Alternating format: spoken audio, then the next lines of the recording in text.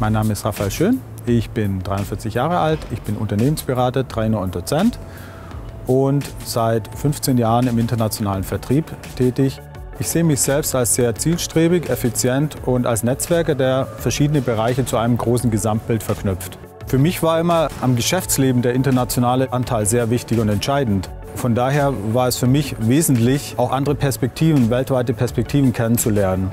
Worum es in den Zertifikatslehrgang geht, das ist Wissen jenseits von Business-Knigge, das heißt, wo es relevant wird für Firmen, wo Hard Facts daran hängen, das heißt, wo bares Geld davon abhängt.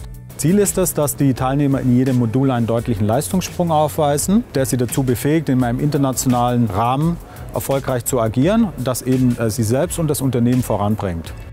Der Lehrgang ist sinnvoll für alle, die im internationalen Bereich Berührungspunkte haben. Das können Business Developer sein, das können äh, Vertriebsmitarbeiter sein mit internationaler Ausrichtung, das können aber auch Geschäftsführer sein oder generell Führungskräfte mit internationalen Führungsaufgaben. Die Voraussetzung für das Zertifikat ist die regelmäßige Teilnahme in sechs Modulen plus die bestandene Abschlussprüfung, nach der Sie dann das Zertifikat zum International Business Manager IHK in Händen halten.